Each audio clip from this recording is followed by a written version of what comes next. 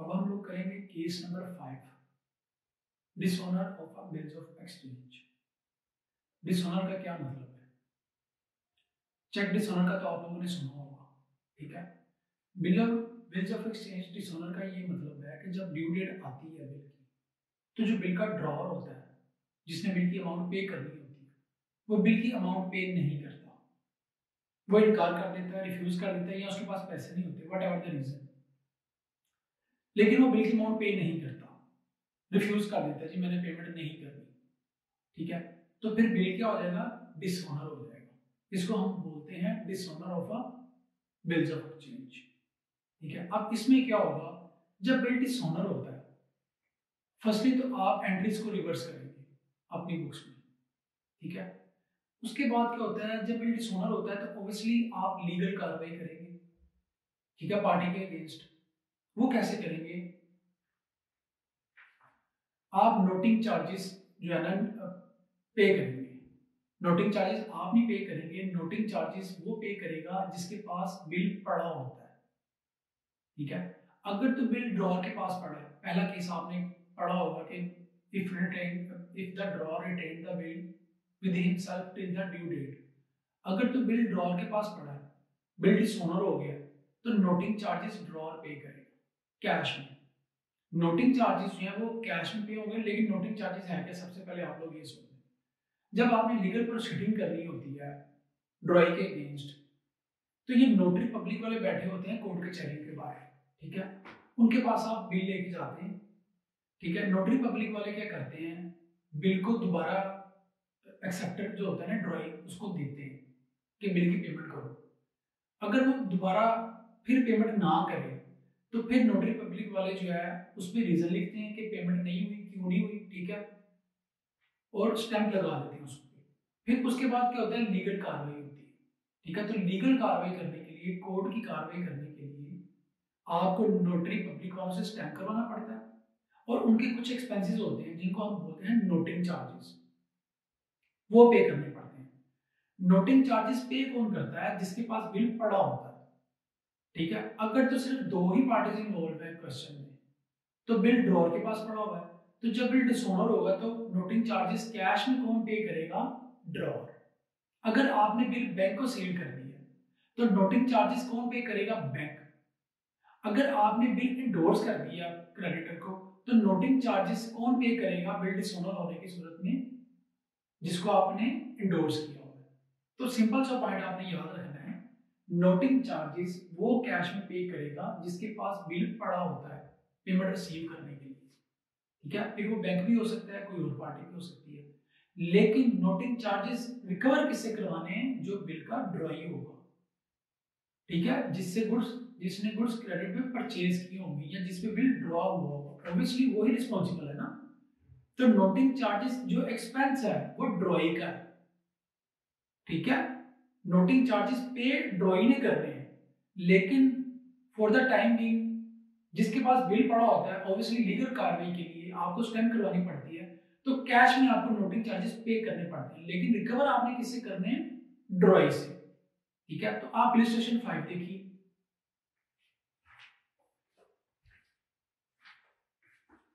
Illustration five है on first January 2015 Amjad sold goods to Shakeel for fees 5000 on credit basis हम transaction करते हैं। आपने पूरा रीड करना है इसको। मैंने पहले भी बताया। ठीक है? मैं साथ साथ रीड करके इसको सोल्व करूँगा आप क्वेश्चन को इलिस्ट्रेशन को पहले रीड करना कंप्लीट ठीक है? तो फ़र्स्ट जनवरी को अमजद ने गुड सेल किए शकील को तो अमजद क्या होगा? ड्रॉर होगा। अमजद ही बिल ड्रॉ करेगा। ठीक है? तो हम बना लेते हैं जी अमजद और दूसरी पार्टी कौन सी है जी? शकील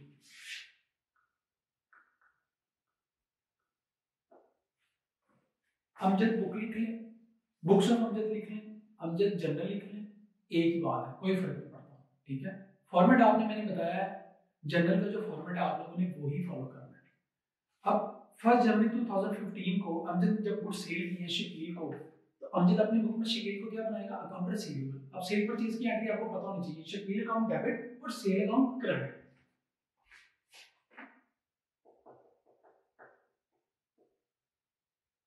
क्या जी सेल की एंट्री शकील अकाउंट को रिसीवर बनाएगा और सेल अकाउंट को क्या कर देगा? क्रेडिट कितनी अमाउंट से जी फाइव थाउज़ेंड शकील ने परचेज किया शकील क्या करेगा? परचेजेस अकाउंट डेबिट और अमजद को क्या बना लेगा? अकाउंट पेबल अमजद को कर लेगा क्रेडिट फ़र्स्ट जनवरी 2015 को. परचेजेस अकाउंट डेबिट और अमजद अकाउंट क्रेडिट कितनी अमाउंट से है जी? फाइव थाउज़ेंड उसके बाद क्या है जी? On the same date Amjad drew a bill for rupees 5000 on Shakeel at two months इसी डेट पे अमजद ने बिल ड्रॉ कर दिया है शकील पे दो महीने के लिए.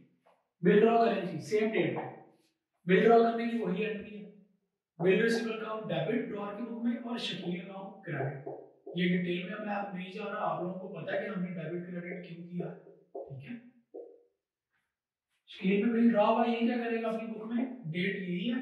अमजद अकाउंट को डेबिट करेगा और बिल पेबल को credit as a liability five पहली चार ट्रांजैक्शन वही है सेल परचेज और बिल ड्रॉ की। उसके बाद Shakeel accepted the bill Shakeel ने बिल एक्सेप्ट कर लिया ठीक है?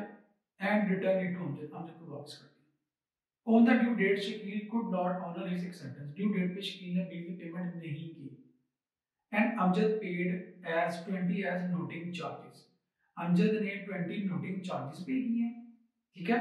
Give entries in the journals of Amjad and Shakeel आपने दोनों के जर्नल में एंट्रीज करनी है अच्छा जब शकील ने पेमेंट नहीं की तो बिल क्या हो जाएगा? डिसऑनर हो जाएगा। ठीक है? तो आप एंट्रीज को सबसे पहले अपनी बुक में रिवर्स करेंगे तो एंट्रीज को रिवर्स करते हैं। बिल डिसऑनर हो गया। अब बिल ड्रॉ जब हुआ ठीक है तो शकील जो था, खत्म हो गया था रिसीवर से। अब शकील को दोबारा अमजद क्या करेगा? रिसीवेबल बना लेगा। अब दोबारा अकाउंट से रिसीवेबल बना तो शकील को क्या करेंगे? डेबिट करेंगे, दोबारा अकाउंट रिसीवेबल बना लेंगे, क्योंकि इसने पेमेंट नहीं की बिल हो गया, खत्म। जब बिल डिसऑनर होता है तो फिर बिल को कैंसिल करना होता है। ठीक है? जब बिल डिसऑनर हो जाता है, फिर आपने उस बिल को क्या करना होता है?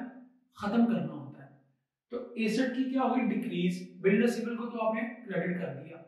शकील को ज़ाहिर है अमजद शकील से तो पैसे लेने हैं। तो फिर दोबारा आप शकील को क्या बना लेंगे? अकाउंट रिसीवेबल तो शकील अकाउंट डेबिट और bill receivable account credit due date कब आएगी जी? ड्यू डेट है इसकी दो महीने का बिल है। जनवरी, फरवरी और मार्च, चार मार्च को। दो हज़ार पंद्रह बिल डिसऑनर की एंट्री करो।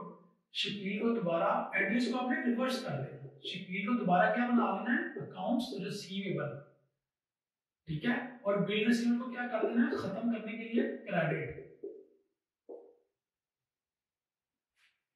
और शकील अपनी बुक में क्या करेगा? एंट्री रिवर्स करेगा। बिल पेबल को दोबारा खत्म कर देगा। खत्म करने के लिए डेबिट करेगा और अमजद को दोबारा क्या बना लेगा? अकाउंट पेएबल अगेन देख लीजिए। जब अमजद ने गुड्स क्रेडिट में सेल की को तो को क्या बनाया? अकाउंट रिसीवेबल जब बिल ड्रॉ हो गया तो बिल रिसीवेबल डेबिट में आ गया, क्योंकि एसेट है। शकील को खत्म कर दिया अकाउंट रिसीवेबल से क्रेडिट करके। जब बिल डिसऑनर हो गया बिल नहीं पे किया तो आपने इस एंट्री को क्या करना? रिवर्स कर देना। शकील को दोबारा क्या बनाना है? अकाउंट रिसीवेबल शकील दोबारा अकाउंट रिसीवेबल बन गया, कितने से? 5000 से। और बिल रिसीवेबल को खत्म करने के लिए क्या कर दिया? क्रेडिट कर दिया।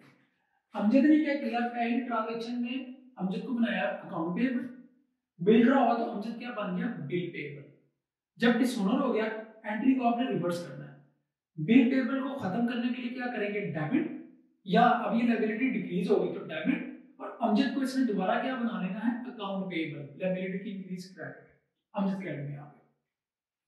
अब नोटिंग चार्जेस जो हैं, वो कैश में पे करने थे, मैंने बताया, जिसके पास बिल पड़ा होता है। बिल किसके पास था? ड्रॉर के पास। अमजद नोटिंग चार्जेस कैश में पे करेगा, लेकिन रिसीव किससे करने हैं? ड्रॉई से।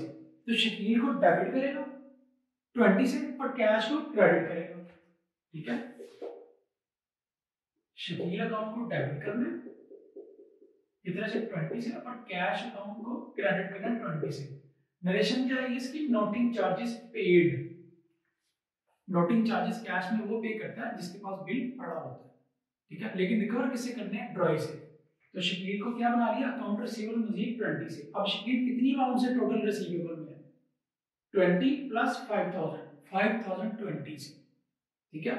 इसकी कंपाउंड एंट्री में करके दिखाता हूँ। अब ड्रॉई की बुक में क्या एंट्री होगी नोटिंग चार्जेस एक्सपेंस है ड्रॉई का। नोटिंग चार्जेस एक्सपेंस एक्सपेंस की increase debit noting charges debit कितने अमाउंट से? 20 से। एक इसको करने अमजद को। अमजद को क्या बना लेगा? अकाउंट पेबल मजीद 20 से। इसकी आप कंपाउंड एंट्री अमाउंट करते हैं। कंपाउंड एंट्री क्या होगी पहले ड्रॉर की में करते हैं। शेयर डेबिट में कितने से है? 5000 से। डेबिट में कितने हैं? 20 से। तो शेयर डेबिट कितने से हुआ? और या आप ये एक एंट्री ये भी कर सकते हैं। शेयर काउंट डेबिट कितने से? 5020 से। 5000 plus 20 debit debit add bill received credit 5000 और कैश क्रेडिट 20 देखिए डेबिट क्रेडिट अमाउंट इक्वल हो गई शेयर डेबिट में 5020 है। क्रेडिट में कैश और बिल रिसीवेबल दोनों की अमाउंट कितनी बन गई 5020 ये कंपाउंड एंट्री आप ये भी कर सकते हैं। या ये दोनों एंट्रीज कर लें या ये एक एंट्री कर लें। ठीक है? और ये क्या करेगा? एक entry bill payable account debit कितने से 5000 से।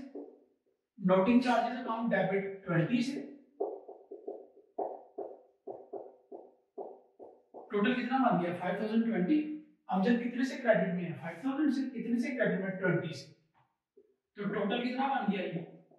5020 आप ये एंट्री भी कर सकते हैं, अगर ये दोनों एंट्री आप ना करना चाहें। ठीक है, ये आपकी मर्ज़ी है। आप सेपरेट ही करें। ठीक है, जब आपकी ज़्यादा कमांड हो जाएगी प्रैक्टिस हो जाएगी तो फिर आप कंपाउंड एंट्री करें आप इसको नोट करें।